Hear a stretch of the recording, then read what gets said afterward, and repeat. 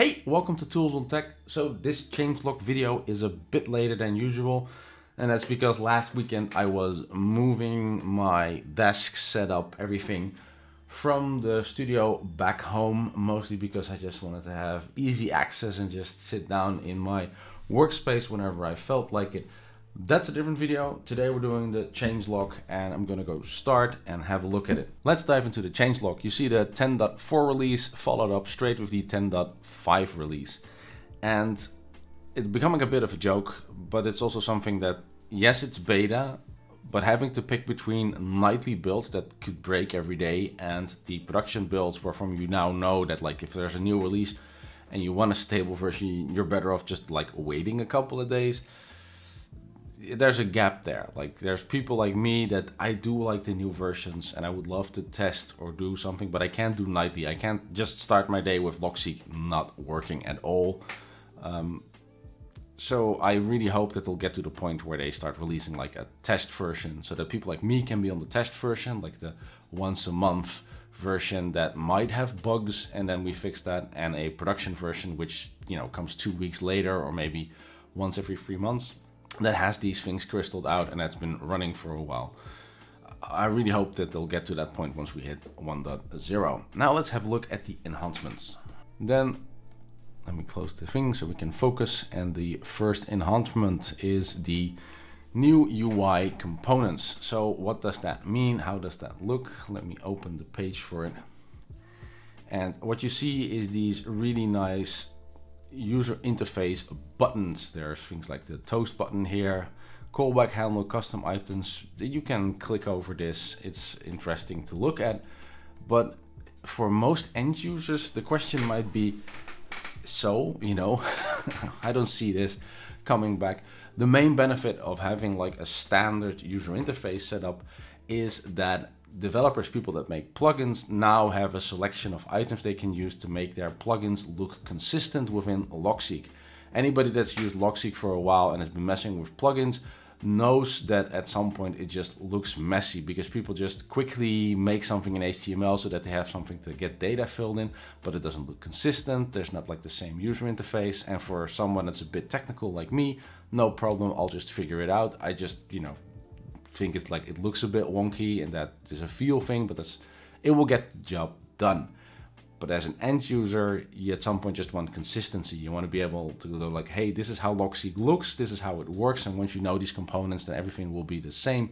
So I'm really looking forward to plugins using this and getting into a more consistent layout because this looks really nice. It's nice and consistent in layout, setup, things that work. It's fluent. You can see like there's animations in it. If your plugin is getting updated with this, then send me a tweet or something because I want to spend time looking at your plugin and showing this actual in practice. Even if it's just one or two components, the difference is staggering, so there should be a video about it. Then we get to the next enhancement and that will be the better block selection.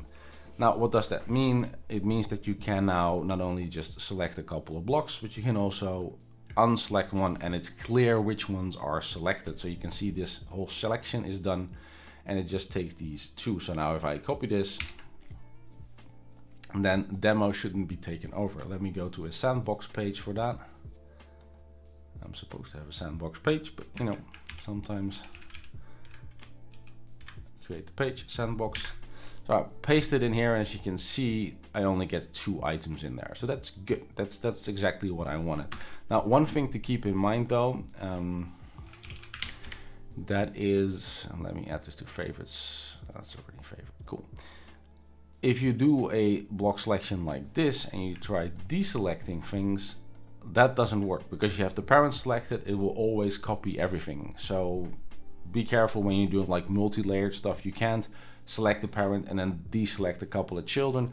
That was like the only thing that I hit that was like annoying. Then next enhancement is the plugin APIs. I looked at it and I don't really think it changes a lot for most end users. It's mostly more consistency for people that do plugin development to make sure that when they send something to Logseq, there's less bugs and it's more consistent For us as end users, what that will mean is that when you're using plugins and they're doing something, there's less chance that if something goes wrong, the bug is on Logseq's side, meaning that the plugin developer can actually fix it in short order. And then the next enhancements is the enhancement of the left sidebar. So things that were done, I'm not 100% sure. I didn't use it a lot, but you can resize. One of the main thing though is that there's now a nice right click menu and that's clear. That shows uh, the shortcut keys that are there. Most of this stuff I could do by just having the right combinations, like the shift click to open in sidebar. But one of the things I do like is that now it's become more easy to see like what the backend this file was. I can right click and say like, hey, I want to open this in a directory. I want to open it in a default app, meaning that, you know, I can get to the source of the file to fix something or edit it. And then the last bit that's in here is just a couple of translations. I am not going to attempt that. As said, I don't speak that many languages. Now that we had the enhancements, I'm going to go looking at the fixed issues. Um, these are mostly small bug fixes, things that are improved, and I'll get some of the highlights out of it. First of all, we had the hotfix for the crash in the French translation. This was the reason why a new version was released. If you had a specific setup of French translation in the screen, the whole thing would crash and that just isn't good. Now what happened, uh, a nil value was passed. For people that aren't using technical stuff all the time, there's a difference between something being empty and something being nil. Empty is like if you have no string, so and that makes it easy. A computer given a no string, an empty string, will just print nothing because it goes like, this is empty, this is nothing, I'll print nothing. But if you give a computer a nil, that means that it is a void. It's absence of anything. And a lot of coding will crash then because it will say like this is not what I was expected from a programming perspective that is nice because nil shouldn't happen and then you want things to at least you know give a bug report or something so you can fix it um, but it is something that can happen here where it gets mistaken sometimes where you want an empty but you get a nil and then the problem is that software after it will crash hard because it goes like I can't deal with void I was expecting either empty string or some words here. Um, you know, happens, it's fixed now. Uh, small things like typos. Then we get to the highlight page aliases in search results. Now this is something that hit me sometimes, but I wasn't aware of it. So when you're searching and you would find an alias, then this bit wouldn't light up. So what would happen is it would have found Vicky, but it would just go like, okay, I don't know what to highlight here, and you wouldn't see it. Now you see it. Now if you have an alias, then you can see, okay, the reason this is lighting up is because the alias contains the word. Then we have the prevent jumping when hovering over left sidebar. Now I could talk about how this looks, but they made like a really nice video on the bug page for it.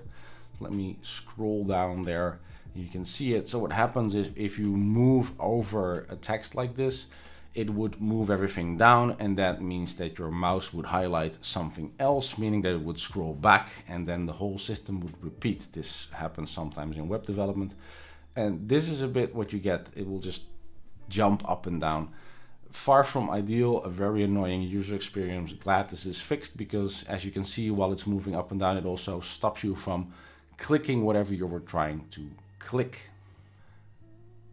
Next one was the Android app crash caused by special file names. I had the same problem. If you have like a large graph with a lot of files in it and there are some special files in there with spaces or weird combination of letters, then it caused the Android app to crash. Now for people that don't often use or look in the backend of their systems, while your idea would be that everything is file-based, most mobile OSs have like a totally different system in the backend than the, what we're used to on our desktop PCs. So that conversion sometimes breaks it, and this was the case, causing the Android app to crash.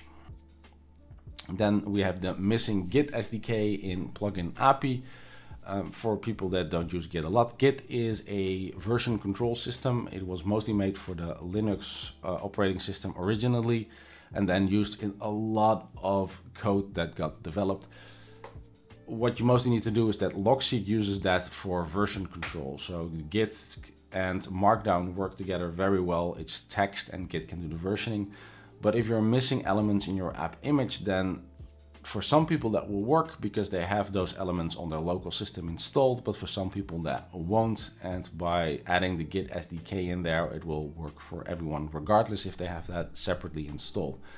These kind of bugs happen very often because developers always have these libraries installed and then it gets to end users that do not have these libraries installed and then you start hitting issues and it's usually an easy fix but um, yeah you find out when it's in practice and usually not with the developers. I wouldn't notice it as well because I would always be running Git somewhere as one of the first things I install on a system. Let's see what we had more. Remove prefix spaces when no intent in indent is used in exporting.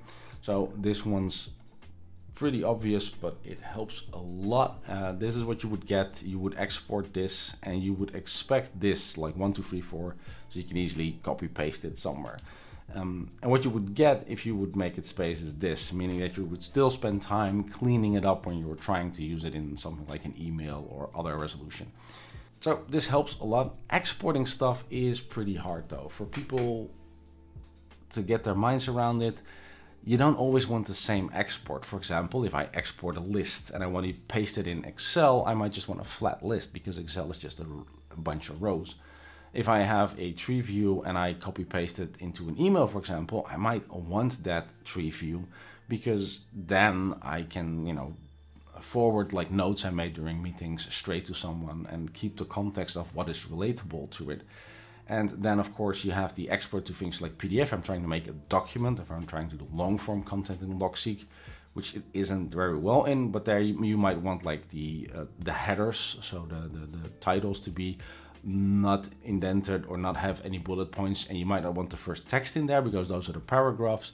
But anything under it you might want bullets and that like where do you bind where do you draw the line basically? Where do you make that change? And that's very dependent on the person meaning that either you have to make hard choices and just say this is how you're going to get your export, or you have to make it very configurable, but then again, it makes it complex for the end user because they have to do all these switches. Now you see that export problem, for example, in Logseq, when you right click something and say, hey, copy export as, you have like all these options in the bottom and that doesn't make it easier to use. Like the top ones help that you can now make like a sub selection or say like, hey, I just want it in a picture or an HTML one but it's still far from ideal. So there's a trade-off always between configurability, simplicity, and finding out that you probably can't make it work the way people, like everybody wants it to work. Somebody's going to have like an edge case that's not going to be covered by all your configuration options and then complain about it. It's how life is in software development. Then we have the accept video as mobile shared content. So if you're on mobile and you would share a video, Logseq wouldn't show up because it wouldn't be marked as something that can take video and do something with it. And it can, so now it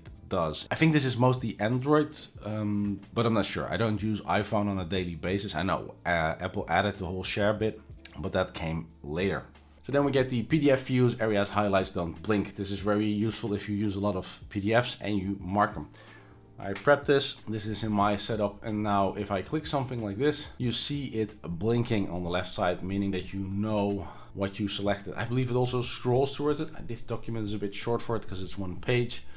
But of course, if it's not blinking, then you don't know like, hey, what is this actually referring to? So I'm glad this got fixed for all the people that use a lot of PDFs for research and the like. Then we have the cannot toggle updated ad and created ad in query view. Now this is something that was hitting me all the time. If you do a query like this, you'll have this updated ad and created ad at the end. And very often I just wanted the updated ad. For example, I wanted to see like, hey, I have these three projects. When was the last time I worked on them? But I couldn't because if I would have disabled just created ad, then it would not hide any of them. And if I did both, then it would hide both of them. But I couldn't say I just wanted one.